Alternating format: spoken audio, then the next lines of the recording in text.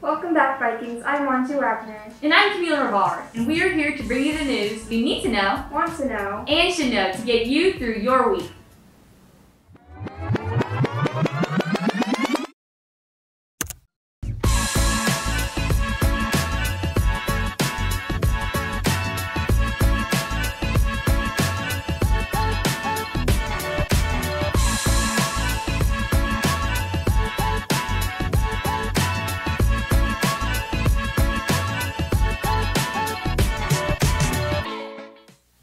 March Mammal Madness is here. MMM is a simulated animal tournament that will go through the end of the month. Students can pick up a copy of the bracket at room 234 or 238. Brackets must be submitted by March 13th to be entered in the school competition. The top 10 point finishers will earn a pizza party. Students will be able to check their results on the large bracket in the upstairs hallway once the tournament is underway. Get ready, Vikes, because Spring Cocoa is coming April 1st at the Washington State Fairgrounds. The theme will be Footloose, and you can buy your tickets and a guest pass starting March 14th.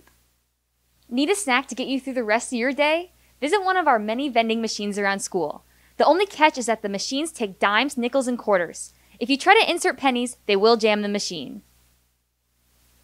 Last weekend was solo and ensemble, where our orchestra qualified for state, so we got the inside scoop on how the musicians thought about their performance. I feel alright. Uh, there are definitely some things that my group and I could have done better, but overall, we, we did pretty good, so. Great. So far, so good. I mean, the day's not over. We have a, a few more performances to go, but everything I've seen so far, everybody's doing awesome. It's taken a lot of practice to get to this point. So what sparked their musical interest?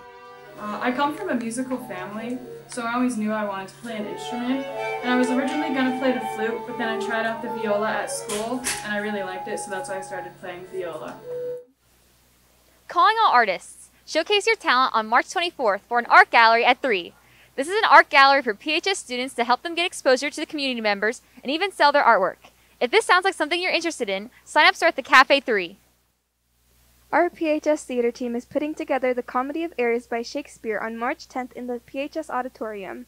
If you're interested, don't worry about buying your tickets now because they will be $10 at the door. We hope to see you there. Thank you for watching this week's episode of VNN. Stay purple, Vikes. Stay purple, Vikes. Stay purple, Vikes.